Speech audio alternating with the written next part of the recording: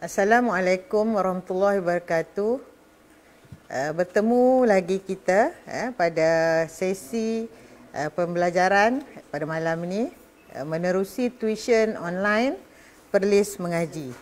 Jadi uh, terima kasih diucapkan kepada Jabatan Agama Islam uh, Perlis, uh, Majlis Agama Islam Perlis dan Jabatan Pendidikan Negeri Perlis kerana memungkinkan pelaksanaan program tuition online sempurna uh, PKP uh, COVID-19 Perlis mengaji. Okey, uh, apa khabar anak-anak sekalian? Jadi diharap semuanya dalam keadaan sihat ya. Telah makan malam ya, bersedia dengan pensil ataupun pen ya, alat-alat tulis dan juga uh, buku catatan. Okey. Ah, cikgu ya cikgu Wiyati akan sambung uh, sains SPM uh, bagi sesi ataupun bahagian yang kedua kemahiran proses sains. Okey, untuk bahagian kedua uh, kemahiran proses sains ni ya kalau anak-anak uh, masih ingat ya dalam sesi yang pertama ataupun bahagian pertama uh, cikgu telah pun menyatakan terdapat 11 ya ke uh, aspek kemahiran proses sains dalam bahagian A kertas 2 sains. Okey, uh, jadi ada 11 uh, dan uh, dalam sesi yang pertama ataupun uh, bahagian yang pertama kita telah pun uh, membuat ataupun menyelesaikan aspek memahati, uh, membuat inference, mengelas dan sedikit berkomunikasi.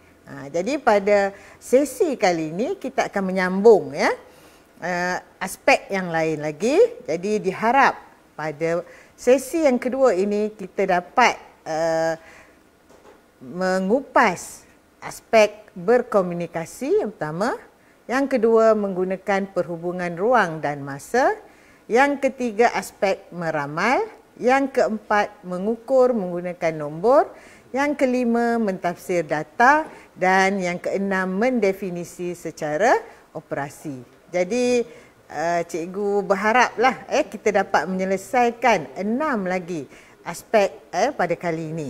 Jadi kita teruskan aspek ya yang keempat ya sambungan daripada yang lalu adalah merupakan aspek berkomunikasi.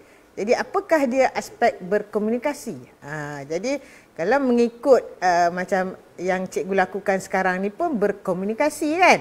Ha, tetapi dari segi saintifik ya, apa yang dimaksudkan dengan berkomunikasi adalah mempersembahkan maklumat atau idea dalam pelbagai bentuk seperti jadual, graf, rajah ataupun model. Okey? Ha, itu dia. Ha, tetapi selalunya dalam sains kertas dua ini, selalunya komunikasinya adalah dalam bentuk graf. ya, Dalam bentuk graf. Okey, jadi bagaimana soalan-soalan yang dikemukakan? Okey, sebelum kita melihat kepada soalan-soalan, jadi kita kena tahu ada berapakah bentuk graf. Okey, jadi yang pertama graf garis. Graf garis ni pula terbahagi kepada dua. Jadi yang pertama graf garis lurus. Okay? Dan yang kedua graf garis lengkung. Okay? Ha, jadi ada dua graf garis. Graf yang seterusnya ialah carta palang ataupun carta bar. Okay? Ha, kadang-kadang gunakan carta bar, kadang-kadang digunakan carta palang. Jadi ikutlah maksud yang sama. Tapi kalau bahasa Inggeris dia tetap uh, dikenali sebagai bar chart. Okey. Okey, untuk yang seterusnya, graf yang ketiga adalah histogram. Oh, jadi ada tiga graf, graf garis, graf bar dan histogram. Okey, ha, sekarang kita pergi kepada contoh. Jadi untuk contoh yang pertama, eh, untuk graf garis lurus ya kita akan lihat contoh yang pertama jadi dalam contoh yang pertama ni kita perhatikan bahawa okey uh, di paksi X adalah daya yang bertindak pada umbuh besar dalam unit Newton manakala daya yang bertindak pada umbuh kecil ya adalah merupakan paksi Y Jadi paksi X adalah pemboleh ubah dimanipulasikan manakala paksi Y adalah pemboleh ubah bergerak balas. Jadi kalau kita perhatikan data, kita dapati ada satu data yang tiada iaitu pada daya uh, umbuh besar 8. Ha, jadi tiada daya pada umbuh kecil dibiarkan kosong. Okey, macam mana kita nak buat? Uh, tak perlu ya, anak-anak tak perlu susah hati. Jadi tugas yang pertama adalah mesti plot. Ya, jadi bila graf garis, ambil pensil dan tandakan. Okey, jadi kita tandakan semua titik. Okey, bila kita tandakan semua titik, perhatikan ya, titik itu hendaklah ditandakan sama ada dengan tanda pangkah ataupun dengan tanda uh, bulat ya. Ha, dan mesti jelas ya supaya pemeriksa dapat ya melihat. Ha, ini kadang-kadang nampak garisan aja, tak nampak pun tandaan pada graf tersebut. Okey, seterusnya bila kita tengok macam ni, kita tahu bahawa dia akan membentuk garis lurus. Ha, jadi garis lurus ni sekurang-kurangnya dua titik. Ha, kan? Ha, jadi maknanya ambil pembaris dan gariskan. Ya? uh, gariskan mengikut apa? Mengik, uh, sehingga semua titik-titik itu bertemu. Okey, sehingga titik-titik itu bertemu. Okey, uh, jadi bila kita uh, sambungkan dia menjadi seperti ini, maka kita dapatlah satu garis lurus. Ha, selesailah tugas kita dan kita dapat dua markah. Ha, jadi pemakahan dia adalah yang pertama, semua titik hendaklah betul. Okay? Jadi ada ada empat titik, semua betul. So, satu markah. Dan yang kedua, graf licin. Ha, jadi uh, graf licin maksudnya apa? Maksudnya uh, tidak di, apa orang kata? Tidak dibuat uh, freehand. Ha, okay? Okay. Contoh seterusnya adalah graf garis lengkung. Jadi untuk graf garis lengkung ini uh, kita dapati masa di sini uh, adalah paksi X iaitu pemboleh ubah dimanipulasi manakala pemboleh ubah bergerak balas adalah suhu. Jadi ini paksi X, ini paksi Y. Okey, paksi X dan paksi Y. Uh, apa yang kita dapati di sini diberi uh, graf ya. Dan kita hendaklah me, apa orang kata? Kita hendaklah menandakan titik-titik. Ha, kan? Kita tandakan titik. Ha, jadi rupanya macam ni titik. Okey. Jadi bila kita tengok macam ni adakah dia akan membentuk garis lurus ha, acuk-acukan dengan pembaris tengok ada lari kan? Ha, di mana dia lari?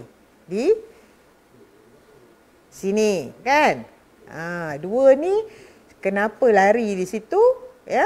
Ha, bukan ada kaki kan? Ha, tetapi ha, dia lari di situ kerana pada ha, masa 8 minit dan 10 minit suhunya adalah sama. Ya? Ha, ha, suhunya adalah 102 okey ha, 102 darjah celsius sama jadi bila suhu sama dia dah tak jadi garis lurus lah kan ha, jadi macam mana nak plot graf ni jadi kita akan plot begini Ha, inilah kita kata graf garis lengkung. Okey, dapat berapa markah? Dapat dua markah. Yang pertama, titik ditandakan dengan betul. Ya. Yang kedua, graf hendaklah licin. Apa maksud licin tu? Maksudnya dengan sekali ya. Dengan sekali uh, kita uh, jangan angkat tangan ya. Maknanya kita uh, buat uh, graf ni gunakan pensel dan terus lukis ya uh, barulah kita dapat uh, apa ni uh, graf uh, yang licin yang cantik ya uh, okey boleh kita teruskan okey itu penerangan ya tidak guna pembaris ya. Jadi maknanya kita menggunakan free hand. Selalu kita kata free hand. Ha free hand ya. Uh, okey. Graf uh, soalan yang sama tetapi uh, diplot uh, berbeza ya. Apa yang berbezanya? Ha, cuba perhatikan ya. Berbeza kerana di sini ya. Uh, pada titik dua yang akhir ni cuba nampak di sini ya anak-anak tengok ini adalah garis lurus. Okey? Jadi ini adalah garis lurus. Jadi dia sambung semua pakai pembaris.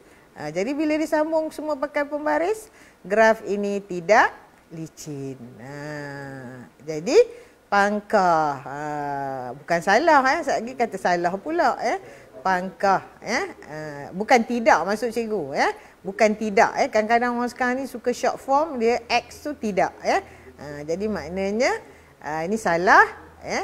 Jadi kerana apa salah? Kerana graf tidak licin. Uh, okey dari segi graf licinnya tak betul.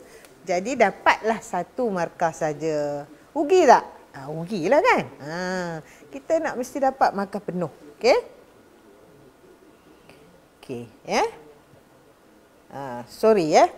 Uh, jadi di uh, pada yang ditandakan bulat uh, dengan biru ni uh, sepatutnya apa? Di ada curve ya, ada lengkung. Uh, itulah kesilapannya. Okey.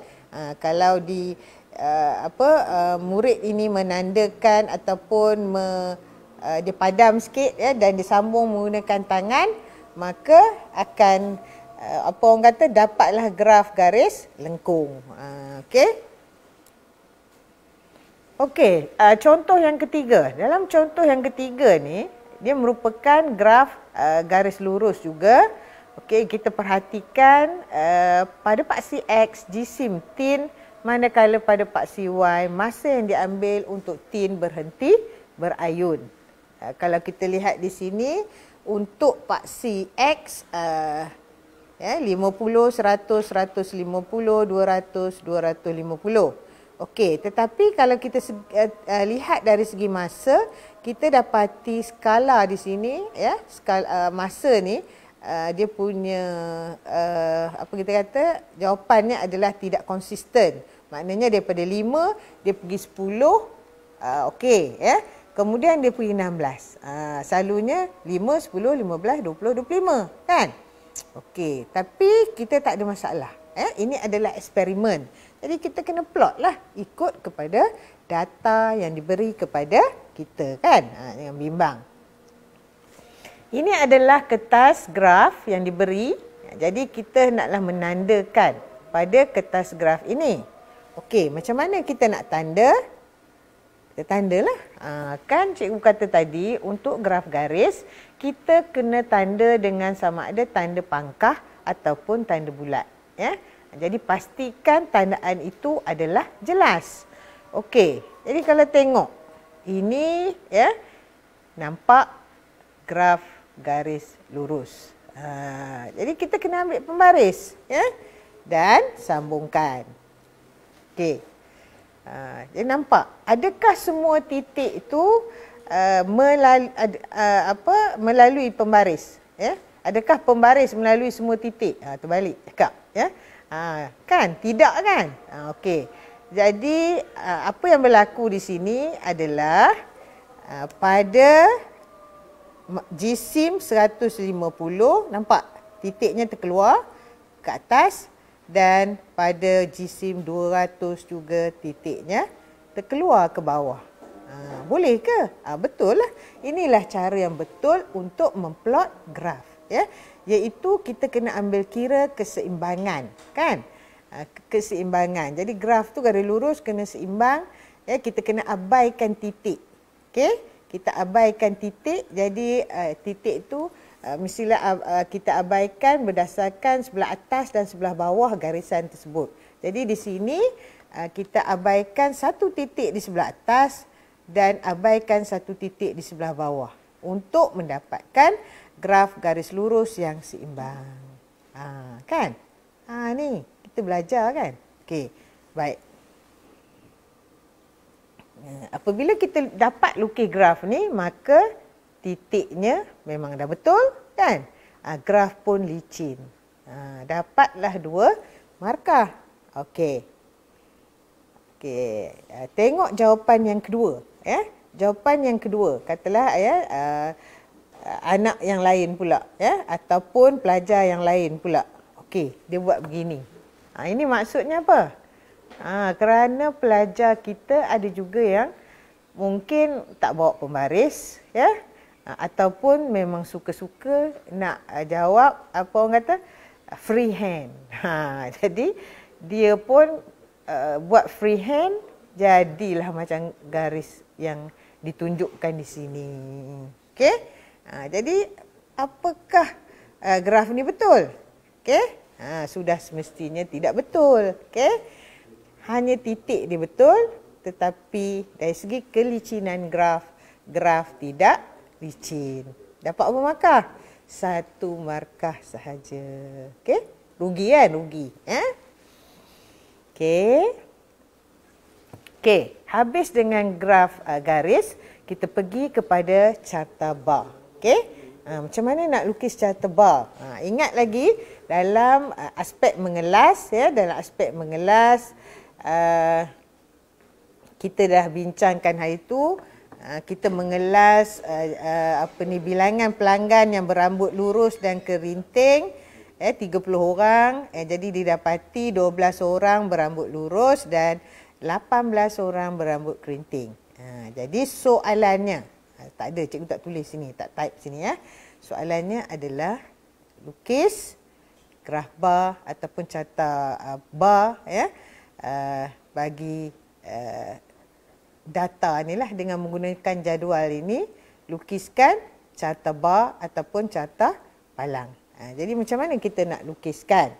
Cuba perhatikan, cuba anak-anak perhatikan di sini di pada Pak Y bilangan pelanggan, betul kan? Okey, kemudian dia ada apa ni? Skala dia dan uh, skalanya uh, 0, 3, 6, 9, 12. Okey, ada ditulis di sini. Ya, berlabel. Ya. Seterusnya, kita lihat pada paksi X, kita dapati jenis rambut. Ha. Jenis rambut ada berapa? Ada dua. Kan? Lurus dan kerinting. Tetapi, kalau diperhatikan di sini, tiada pula dilabelkan pada paksi X ini. Ha, jadi, apa perlu kita buat? Okey? Mestilah kita kena label. Okey? Okey, jadi yang pertama kita labelkan dulu, okey? Ha, lurus kerinting. Okey, graf bar uh, adalah apa ni ataupun carta bar ya. Carta bar ni uh, kotak kan? Ha, selalu kata kotak ya. Anak anak murid cikgu selalu kata kotak ya. Dia kata graf kotak ke cikgu? Graf garis. Ha, macam itulah ya. Okey, jauh kan? Ha, jauh atau rapat? Ni jauh. Jadi lukiskan untuk rambut lurus ya ikut dia punya uh, bilangan 12. Ha okey. Kemudian uh, rambut kerinting 18. Jadi beginilah yang kita dapat. Okey? Ha jadi kita kena tulis ya. Kita kena tulis uh, label untuk jenis rambut pada paksi X. Ha okey. Jadi untuk mendapat dua markah, yang pertama titik hendaklah betul. Okey, betul kan? Okey. Yang kedua, paksi X. Ha, bukan tak tu ya. Ha, paksi X. Ha, ini adalah paksi X ya. Paksi X berlabel. Dan yang ketiga, syarat yang ketiga adalah lebar bar mestilah sama. Tak bolehlah ada satu kecil, satu besar. Kan? Ha, tak boleh. Ya? Okey. Baik. Uh, sekiranya lah katalah ya uh, anak-anak tersilap kan. Uh, silap bubuh yang lurus 13, yang kerinting 17. Uh, jadi dah salah lah dari segi uh, data ni tadi peng- pengelasan tu salah kan. Uh, Okey. Tetapi bila diplotkan ikut yang jadual yang anak-anak buat tu tadi iaitu rambut lurus lukis 13, rambut kerinting ni uh, 17 kan. Ha, jadi di sini ditandakan 17 kat sini. Manakala yang uh, lurus ni 13 di atas ni. Ha, jadi dapat juga markah. Sebab uh, yang ini adalah uh, aspek melukis graf. Kita lihat kemahiran aspek melukis graf. Ha, dapatlah markah. Jangan bimbang ya. Saya kata Allah aku salah lah bila keluar daripada Dewan Peperiksaan kan. Salah lah tadi. Ya, kan menangis-nangis ya. Ha, tak apa, betul. Ya? Okey, jangan bimbang. Ha, cuma ruginya pada uh, aspek mengelas tadi. Salah. Ya? Seterusnya. Contoh yang kelima ni adalah histogram. Jadi jenis graf yang seterusnya adalah histogram. Uh, jadi uh, hari tu pun kita dah uh, bincangkan semasa pengelasan uh, jisim uh, uh, murid ya uh, di sini dan tentukan bilangan murid. Uh, jadi data sudah didapat ya ataupun data sudah anak-anak perolehi. Jadi tugasnya sekarang hendaklah apa? Hendaklah mengisi. Ha, jadi buatlah. Okey. Jadi bila dilukis kita dapati dapatlah bentuk yang macam ni. Betul tak? Ini histogram. Ha, ya. Betul lah. Ya, sebab histogram mesti rapat kan? Okey. Syarat untuk dapat markah ya, iaitu dua markah dalam pembinaan histogram ni. Yang pertama, semua titik hendaklah betul. Ya, lebar bar sama macam tadi kan? dan bar mesti rapat. Ha kan? Bar mesti rapat. Eh kalau jauh-jauh uh, kurang satu markah. Okey? Ha okey. Dan apa jadi? Ha macam kes tadi jugalah. Kalaulah data dari segi bilangan murid ni silap. Ha sama macam tadi juga. Eh katalah di sini silap. Uh, tetapi bila diplotkan graf dia mengikut betul-betul uh, data yang diperolehi. Jadi uh, tak dipanelize lah ya. Uh, uh, apa ni pelajar tersebut ataupun calon tersebut tak dipanelize uh, maknanya dia dapat markah untuk aspek kemahiran melukis graf. Jangan bimbang ya. Next. Jadi cikgu harap dengan penerangan bentuk-bentuk graf tadi dapat mengukuhkan lagi kefahaman kamu tentang aspek komunikasi. Jadi aspek uh, yang kelima daripada 11 aspek ini adalah menggunakan perhubungan ruang dan masa. Jadi menggunakan perhubungan ruang dan masa ini adalah melibatkan graf jugalah. Okey. Uh, jadi apa maksud dia? Maksudnya memerihalkan perubahan parameter seperti lokasi, arah, bentuk, saiz, isi padu, berat dan jisim sesuatu objek dengan masa. Baik, jadi ah, cikgu akan bagi contoh yang berkaitan dengan graf lah eh, yang kita dah buat tadi. Okey, contohnya bila kita dah lukis graf ni, dalam contoh yang pertama kita dah lukis graf ni, jadi soalan akan tanya, begini. Apakah hubungan antara jisim tin dengan masa yang diambil bagi tin untuk berhenti berayun? Ha. Jadi hubungan kan? Ha. apa hubungan dia? Jadi kita tengok garis lurus kan? Ha. jadi hubungan ni mesti menghubungkan di antara pemboleh ubah dimanipulasi iaitu paksi X dan pemboleh ubah bergerak balas iaitu paksi Y. Mesti paksi X dulu dimanipulasikan dulu barulah bergerak balas. Okey, jadinya menjawab persoalan ini kita boleh jawab jisim tin bertambah masa yang diambil untuk tin berhenti berayun bertambah. Ha, tetapi cikgu tahu ya ramai anak-anak suka menjawab begini. Ha, betul tak? Dan cikgu-cikgu pun ajar begini kan? Ha, boleh ya, yang ini pun betul lah.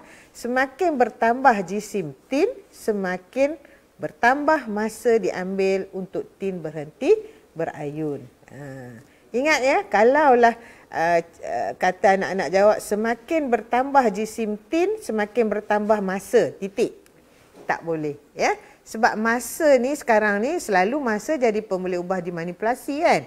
Ha, tapi sekarang masa menjadi pemboleh ubah bergerak balas. Jadinya mas, mesti betul-betul ya uh, lengkap ya masa diambil untuk tin berhenti berayun. Okey, lepas tu ada pula ya macam anak murid duk tanya, "Cikgu, cikgu kalau semakin bertambah jisim tin semakin meningkat masa boleh tak?" Bolehlah ya yang semaksud dengan bertambah. Ha, jadi maknanya semakin bertambah jisim tin, semakin ber, meningkat masa diambil untuk tin berhenti berayun pun betul. Satu markah. Okey, contoh yang kedua. Dalam contoh yang kedua ni, ya, uh, dah lukis-lukis graf, dapat graf begini. Jadi, soalannya tanya macam ni. Apakah hubungan di antara suhu dengan masa dalam 8 minit yang pertama? Jadi, 8 minit yang pertama ni di mana? Di sini kan? Ha, di sini. Okey? Ha, tu, ya, yang cikgu tandakan dengan kotak biru tu. Okey? Ha, jadi, hubungan yang tu. Hubungan yang tu kita nampak macam mana? Garisan garis lurus kan? Garis lurus. Okey jadi jawapannya tak lain tak bukan masa bertambah suhu bertambah. Ataupun kalau kita guna semakin semakin bertambah masa semakin bertambah suhu. Ingat ya ah, kita dahulukan apa pemboleh ubah dimanipulasi. Semakin bertambah masa semakin bertambah suhu. Kalau terbalik semakin bertambah suhu, semakin bertambah masa, kosong markah. Tak boleh lah. Ya? Ha, mana boleh hubungan tu diterbalikkan. Ya? Ha, salah. Ya? Okey, next. Okey, untuk meramal, ya, uh, aspek meramal. Jadi apakah meramal? Adakah hari akan hujan besok? Eh, kita kata ah, ramalan cuaca tu kan.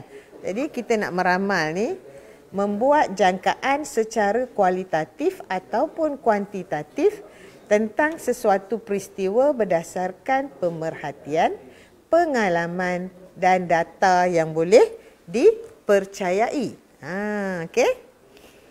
Okey. Jadi contoh graf juga ya sebab uh, yang ni macam kembar tiga lah yang uh, yang sesi sebelum ni pemerhatian dengan inference tu kembar dua kan.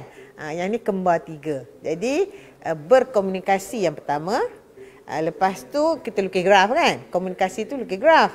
Yang kedua adalah uh, hubungan uh, apa ni? Hubungan di antara ruang dengan masa dan yang ketiga adalah meramal. Ha, jadi dalam soalan graf tiga aspek boleh ditanya. Tapi kadang-kadang dia tanya dua, kadang-kadang dia tanya tiga-tiga ya bergantung kepada soalan.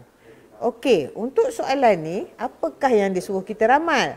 Jadi dia suruh kita ramal suhu pada masa 12 minit. Kita dah lukis-lukis. Ha, jadi ramal ni mesti berdasarkan data yang sedia ada. Ya? Okey, data kita apa dia? Kita sampai sini. Cuba lihat. Kita ada uh, 10, 1, 2. Jadi 12 berapa? Ha, kan? Okey, jadi kita berpandukan kepada uh, titik-titik ini kita dapati pada uh, masa 8 minit 102 darjah Celsius suhunya dan pada 10 minit 102 darjah Celsius juga. Okey? Okey. Jadi sama. Jadi kalau sama ni macam mana kita nak ramal? Uh, 12 macam mana? Dah dua tu sama. Ya? Yeah? Uh, sama juga kan? Pandai. Okey bagus. Memberi fokus ya. Apa yang cikgu ajar? Okey jadi uh, jawapan di sini balik semula ya. Patah balik 102 darjah celsius. Okey kita teruskan dengan contoh yang kedua. Contoh yang kedua ni adalah graf garis lurus. Dah lukis graf jadi begini kan? Uh, jadi seterusnya uh, dalam uh, graf tersebut ya sebelum tu ya eh, soalan dia bertanya jika jisim tin ialah 300 gram ramalkan masa yang diambil bagi tin untuk berhenti berayun. Jadi kita dah ada sampai 250 ni. 26. Jadi 300 berapa? Ha, nak ramal. Nak ramal macam mana ni? Okey? Ha, kita mesti ingat meramal berdasarkan data yang kita dah ada. Jadi kita lihatlah di sini ya. Okey. Uh, daripada uh, jisim 50 gram hingga 100 gram tu mula-mula 5 minit uh, lepas tu 10 kan? Uh, berapa? Uh, jadi di antara 5 hingga 10 tu 10 tolak 5 5 kan? Okey. Jadi seterusnya kita pun kira 10 dengan 16 tu berapa? Ya? 16 hingga 20 tu berapa? Jadi kita akan dapatlah begini. Uh, 10 dengan 16, uh, 6. Uh, 16 dengan 20, 4. Ya? 20 dengan 6. Uh, 20 dengan 26, 6. Okey. Ha, sekarang ni yang yang yang dia suruh kita ramal tu. Ha, 26, ha, lepas tu berapa? Adakah 27? Adakah 28? Adakah 29? Adakah 30? Kan? Macam mana kita nak tahu? Okay?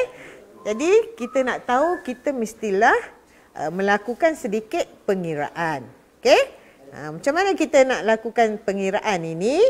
Jadi yang pertama kita tengok di sini uh, dia punya apa ni uh, apa uh, nombor-nombor di sini kan. Ha jadi nombor di sini 5 6 4 6. Ya, uh, dia uh, maknanya kita kita dapati dia punya selang tu eh sama ada 4 eh 5 ataupun 6. Ha jadi pertambahan tu sama ada 4 minit dan, uh, ataupun uh, 5 minit ataupun 6 minit. Ha, itu dia pertambahan dia. Jadi pertambahan daripada 250 kepada 300 ni berapa minit? Ha, jadi yang paling kecil 4. Jadi kita tambahlah 26 tambah 4. Jawapannya 30. Mungkin juga 5 kan? Ha, 26 tambah 5, 31. Ha, boleh tak 6? Boleh. Ya? Ha, 32. Boleh tak 7? Tak boleh. Sebab apa? data itu tidak ada.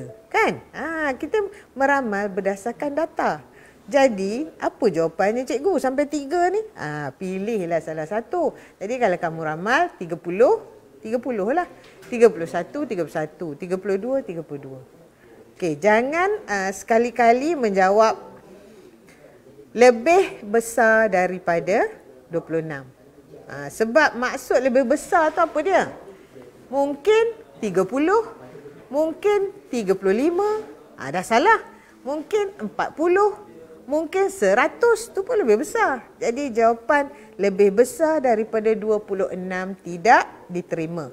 Jadi cikgu nak ingatkan untuk uh, aspek meramal mestilah jawapannya nombor. Okey? Nombor. Ha, okey.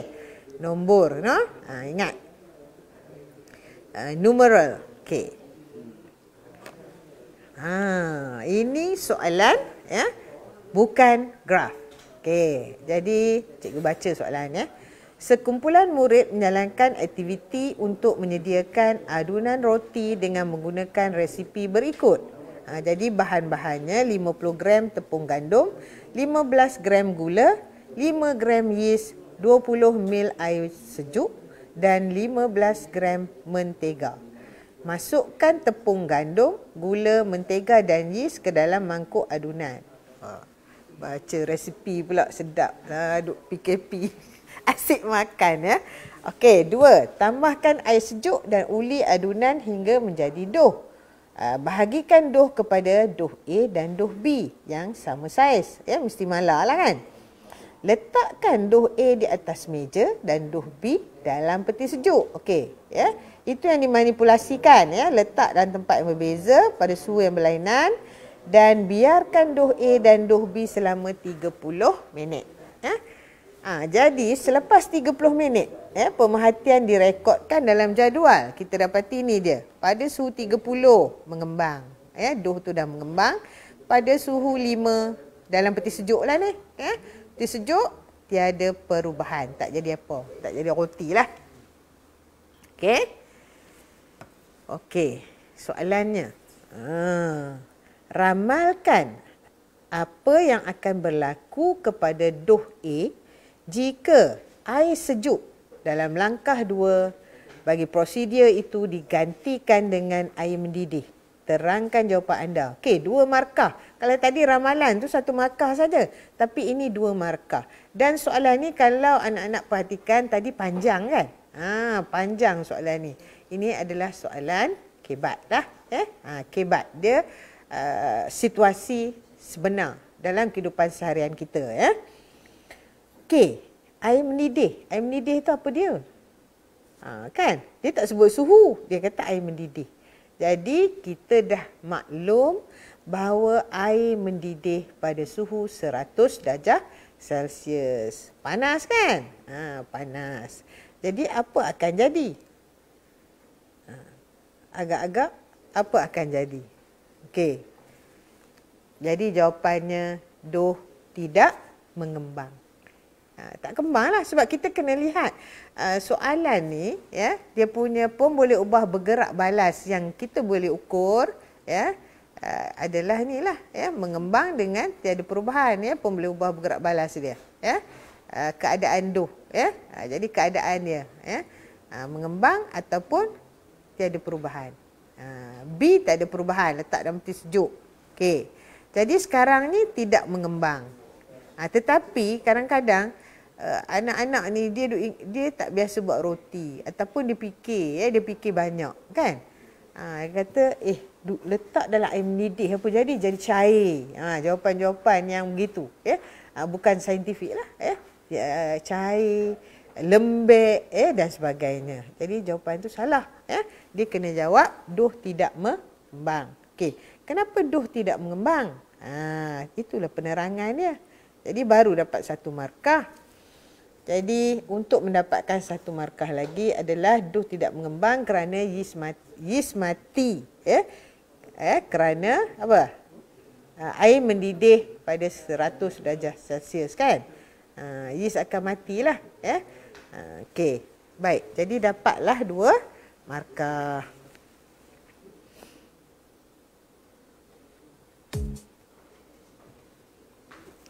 Okey, uh, uh, rasanya anak-anak uh, dah rasa penat sikit. Uh, jadi kita uh, nak take five ya. Kita nak take five.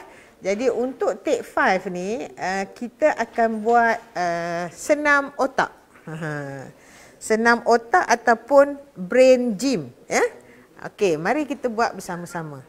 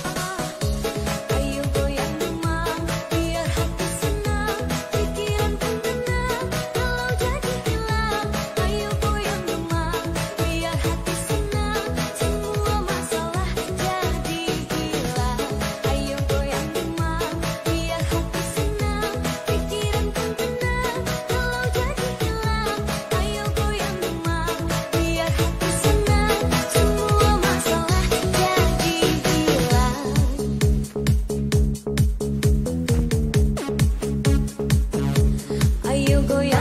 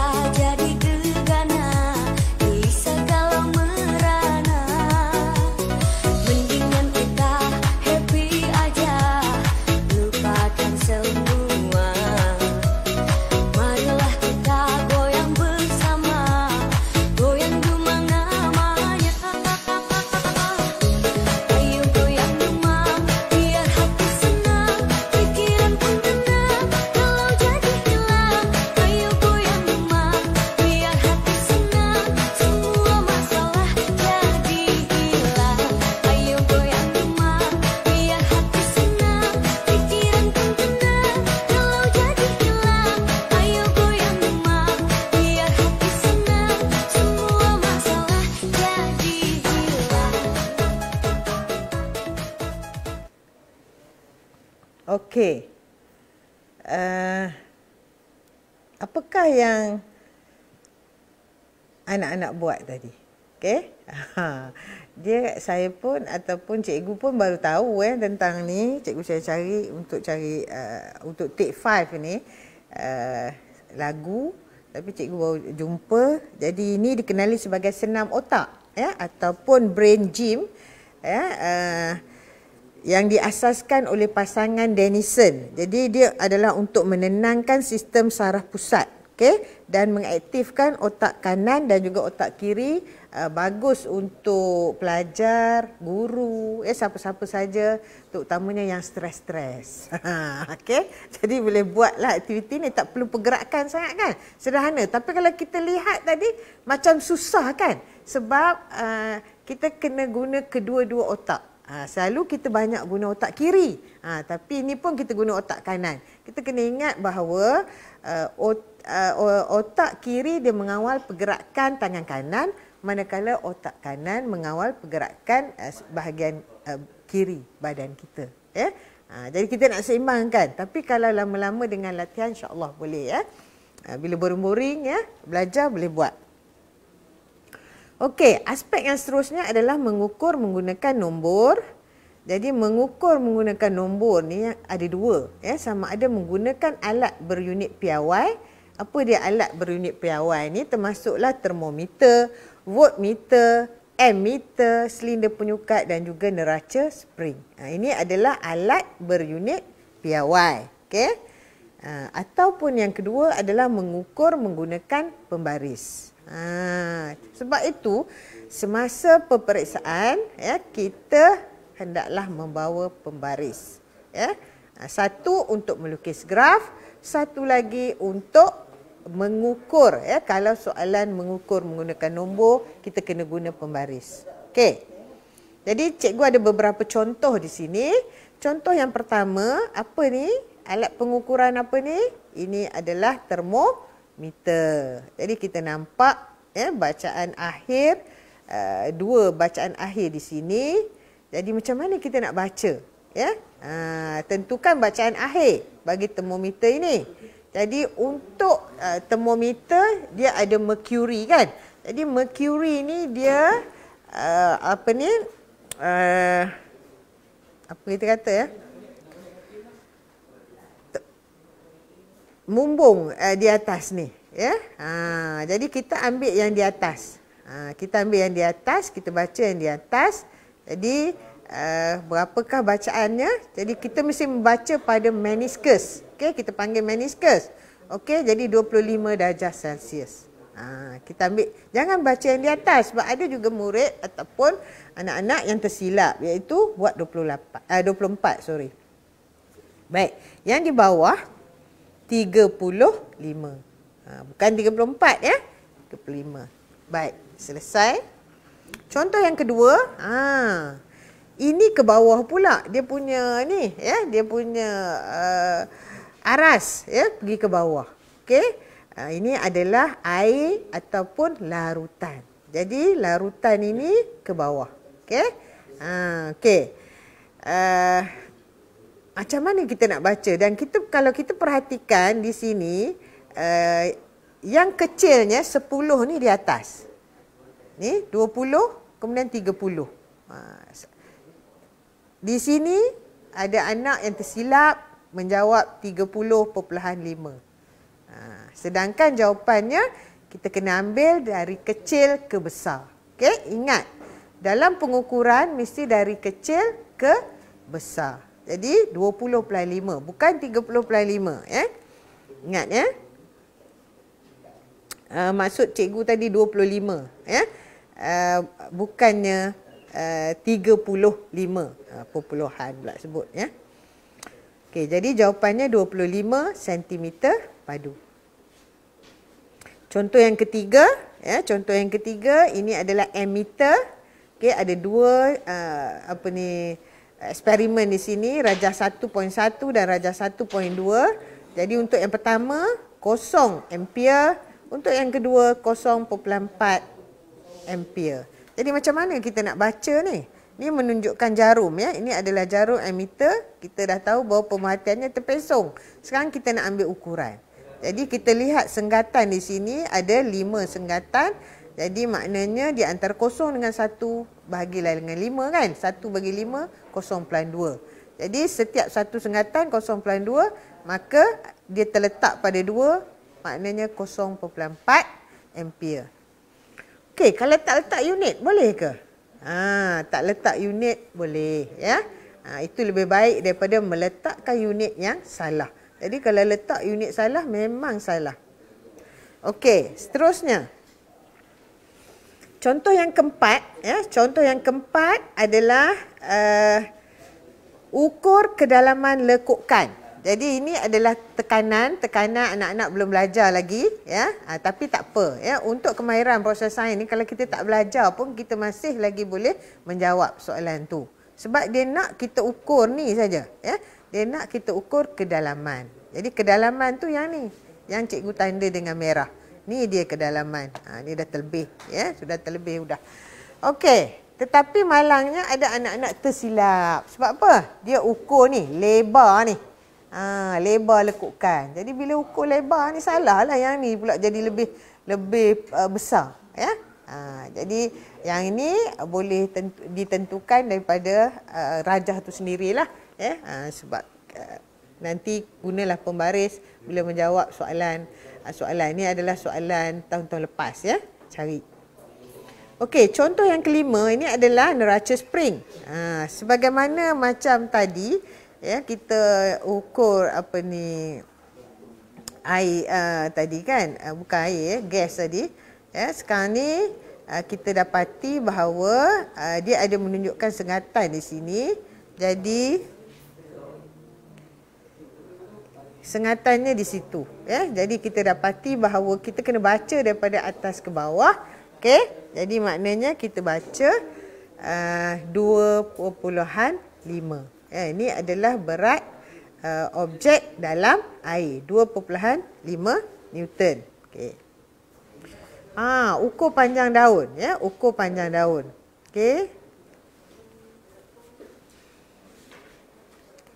Okey, cikgu nak patah balik uh, yang tadi kejap ya.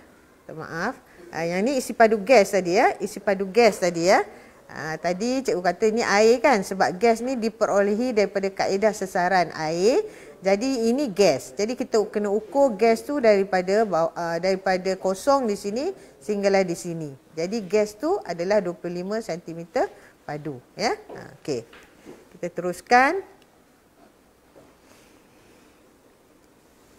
Okay, pergi kepada slide seterusnya.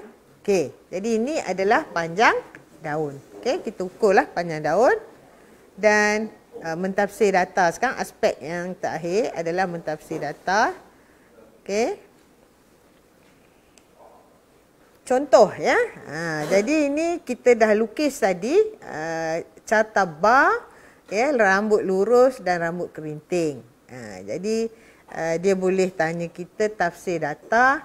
Jadi maknanya kita nak tafsir data ni Berdasarkan carta bar yang ditunjukkan dalam raja di atas, nyatakan jenis variasi. Jadi dah lukis ni. Oh, dah lukis. Oh, apa jenis variasi ni? Dia adalah berdasarkan kepada teori yang kita pelajari. Kan? Ha, dia adalah berdasarkan kepada teori yang kita pelajari. Jadi ini adalah variasi tak selanjar. Okey, ya, variasi tak selanjar.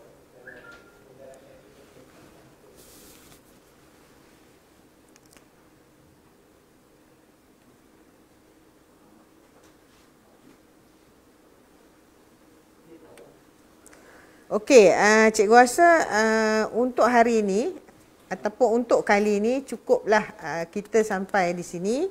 Uh, sebab kalau kita nak sambung kepada pembeli ubah, kita tak cukup masa. Ya. Uh, kita tengok sebab pembeli ubah ni dia panjang sikit. Uh, dan dia ada kembar dia.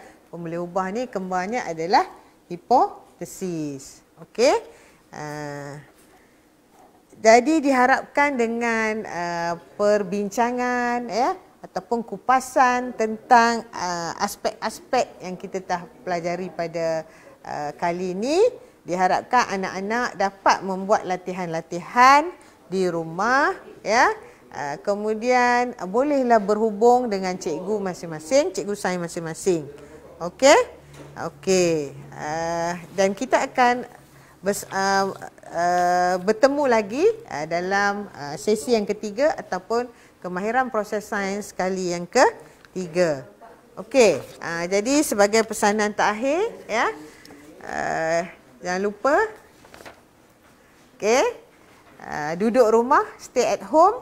Uh, hapuskan uh, COVID-19. Uh, thank you frontliners uh, Perlis mengaji. Sekian wabillahi taufik wa hidayah. Wassalamualaikum warahmatullahi wabarakatuh.